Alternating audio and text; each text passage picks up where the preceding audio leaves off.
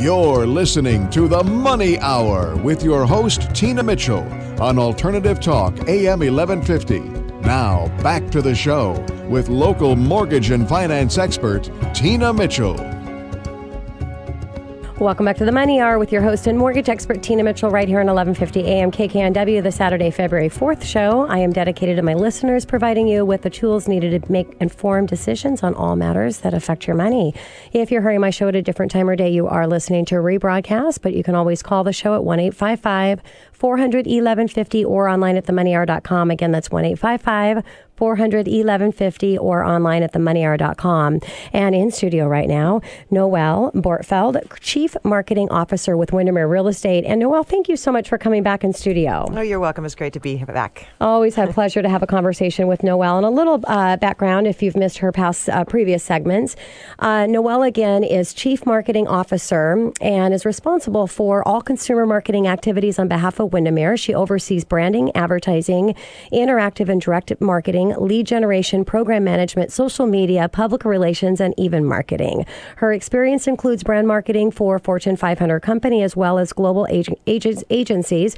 She also leverages a leadership background in web application development and consumer relationship management (CRM). Recently, Noelle made Boston Logic top 10 to watch. Noelle, again, thank you. Just really excited to have our conversation. And our topic today is going to be how to market a listing. So, Noelle, tell us about the types of products and services that you've marketed in the past. Well, let's see. About 30 years ago, I started my career at Nestle, and I was privileged enough to work on infant formula, which we got to launch in the United States. Uh, I also worked on Contadina tomato products and um, was able to launch Contadina Pizza Squeeze, which I still buy to this day. so that was a very fun product. And um, I also worked on Nescafe and Taster's mm-hmm. Choice. And then later on in my career, I spent a lot of time working with Hewlett Packard. So a lot of a lot of um, marketing experience, definitely. So let's talk about marketing a listing. Everyone knows about the four P's of marketing. How do you apply them to marketing a listing? Let's go ahead and start out with product. Okay. So yes, there's a product, price, place, promotion, and kind of the, the way the consumer packaged goods industry frames it. So I try and bring that same framework and bring it to the real estate industry. So from a product standpoint, when you think about it, you're talking about a listing or a home, and that can come in the form of anything from staging the actual product or the mm-hmm. listing, um, creating some improvements, um, doing some repairs, actual curb appeal when people just drive up into the neighborhood um, how the home is showed, whoever's holding the open house, what is that? How does that person talk about the product? Mm-hmm. Um, and and also there's the whole element of inspections that's going to affect your product. So we Definitely. really try and think of all those levers when we think of product. So Noelle, let's. What about price? I mean, that's got to be really, really important, and and not just in a, a, market to where there's not a lot of activity going on, but it's as important, if not important, not more important, it's as important, if not more important, than the market that we're in today. When you think price might not really even matter that much, when it does, because we all want to maximize the price. So let's talk a little bit about that. Yeah, you're absolutely right, Tina. I think you have to look at market conditions, and if you look at it locally, prices have been rising, and we're short on inventory. And so things like market conditions can very much affect how a, a realtor affect, um, prices this home. Um, people tend to do comparative market analysis mm-hmm. as well. But again, that's just one data point in the pricing mix. Um, sometimes people look at um, what's my return on my investment? You know, how much equity do I have in this home? Um, how will that affect the price? Can I walk away? What's my breaking point? Mm-hmm. Uh, do, what, what do I need to maybe cover some other expenses? They also look at um, some of the price drops that might be happening in other areas. Yes. Probably not so much in this market right now, but price drops do happen. Um, days on market is another factor. Mm-hmm. If, if, your home is sitting there for 60 days, you might want to consider dropping the price. Um, another element of pricing is just looking at uh, the other homes and what the listing price was versus what the actual sales price was. So you look at that ratio. And so if people are selling it for like 95% of asking price, you might start to think about what is your asking price and how does sure. that compare? Makes sense. So, Noelle, how about place distribution? So, distribution, that's probably the simplest. That's how uh, listings are actually distributed across the web, if, if you can think about how all the MLS then mm-hmm. distributes. those listings to Zillow or Realtor or to the brokerage's actual website. So that that's a fairly straightforward one. The industry's done a great job with distribution.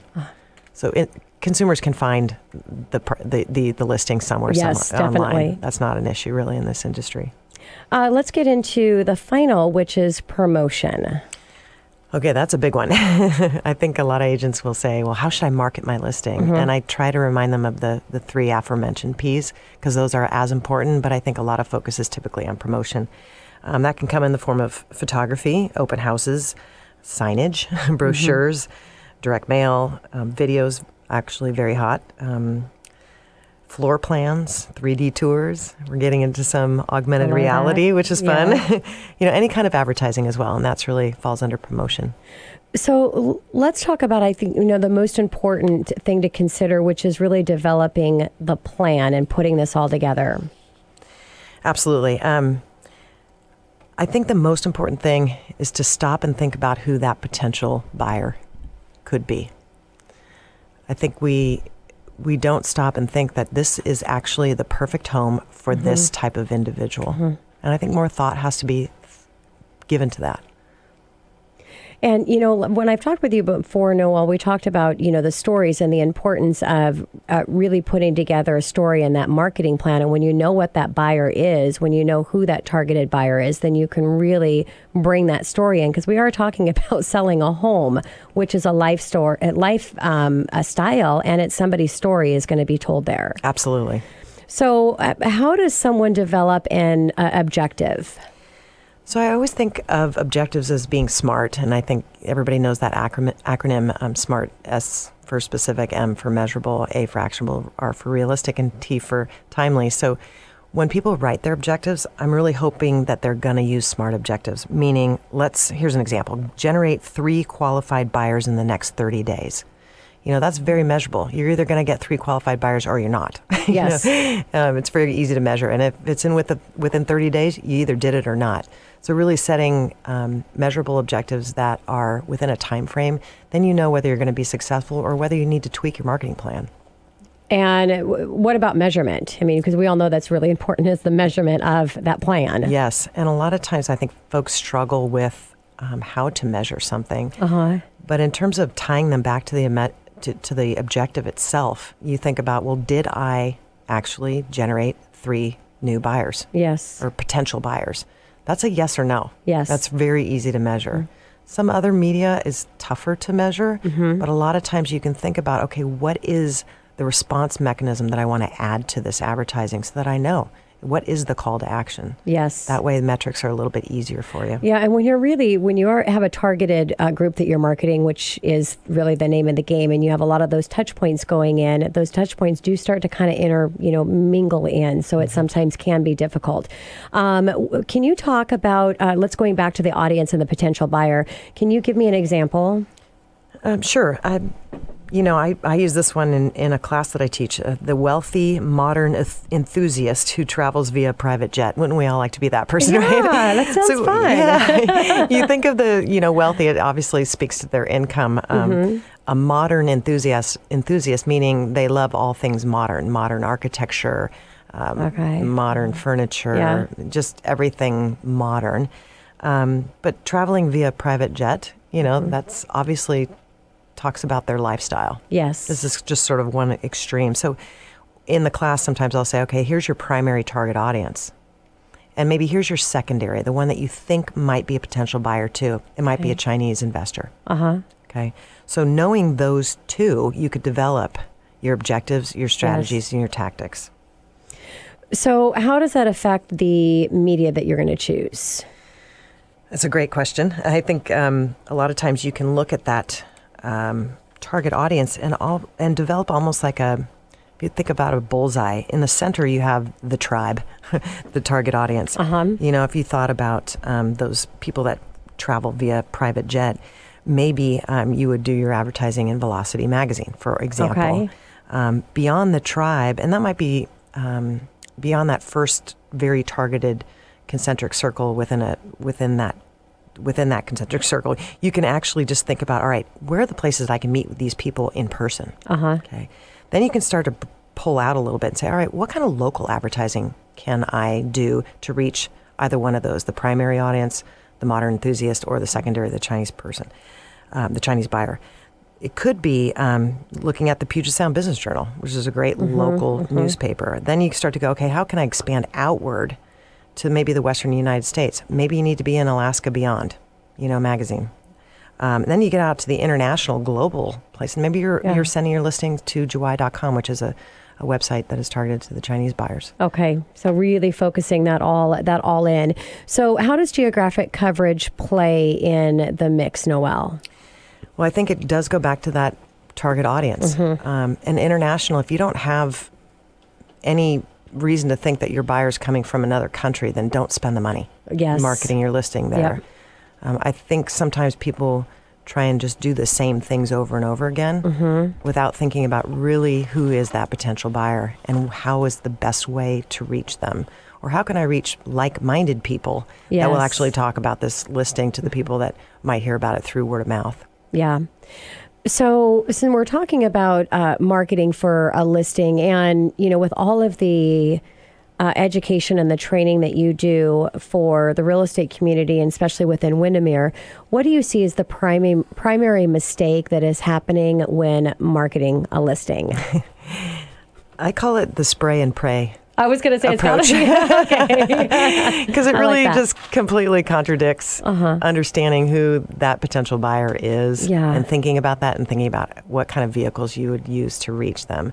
Spray and pray means you're uh-huh. just going out there with maybe a direct mail piece that just goes to everybody um, on in your database. Yeah. And you're not really thinking about, well, gosh, maybe some of those people in my database actually already just bought their home last year. Yeah. Why are they getting this Got it. information? So you have to be relevant to, to folks and, and not just put it all out there to everybody because it's you don't want to appear irrelevant. Yeah. So, and, and, and really, if I'm hearing you've got that, that target market, you know that target market and what, what people they are, and then pick the marketing things that you're going to do and put that out. Um, but you do agree as, as well as if sticking with, and I think a big challenge or a mistake that you see anybody make, any uh, entrepreneur in the marketing is they try something, it doesn't give them the results quick enough, and they give up. You've got to really be it in, in for the long haul. Absolutely. Yeah. And you do have to be able to pivot. Yes. Because if you aren't meeting your objectives, and, I, and a lot of times people just don't even write them down. Uh huh. If you write them down mm-hmm. and they do say within 30 days, you should put it in your little calendar. I'm yeah. going to look at my objectives in 30 days and did I meet them or not? Yeah. And then sense. if I haven't, pivot. So Noelle, with the uh, with agents, because you're behind the scenes and seeing everything that's happening uh, with agents, what are the what are the challenges that they're dealing with right now, and what advice for? Because I have a lot of a lot of agents that listen to the show, and um, you know, what would be your advice for for those the challenge? Boy, get really creative with ways to encourage your sellers to okay. sell right now. I think sellers now have the equity that they might have lost. Yes. So it's time to talk to them a little bit about that. Uh-huh. I think the the challenge also for them is to find the next place for them. Yes. With inventory being short, you, it's hard to get your clients to really think about what is that next mm-hmm. step if mm-hmm. if if it's if hard to isn't. buy right now, right? Yeah. The easiest ones are folks that are willing to maybe um, retire and go to that second home in a, yeah. in a different market. yes, yes. Well, and I've, I've got a complimentary, a complimentary coaching program I do for realtors, and somebody had just brought up a couple weeks ago, and I thought it was just a brilliant marketing idea. Um, she is does a lot of you know cold calling with expireds, but she said she goes back to people that they're it expired like two years ago because now they've got equity. They were looking at selling and maybe it just wasn't the right time because the equity wasn't there. And I thought that was really brilliant because there are people out there that need our services. And it's finding those people and connecting with them and finding out what their needs are and how you can be that solution for them. So, exactly. Yeah. Noelle, thank you so much for joining me back in studio. It's always a pleasure to have you, and I really appreciate you coming in and spending time with me. Thank you so much, Tina. Great okay. to see you again. Coming up on the Money Hour, what are the consequences of working with the wrong world tour? Will we have Erin Hendon with Christine and Company Keller Williams right here on 1150 AM KKNW after this short break.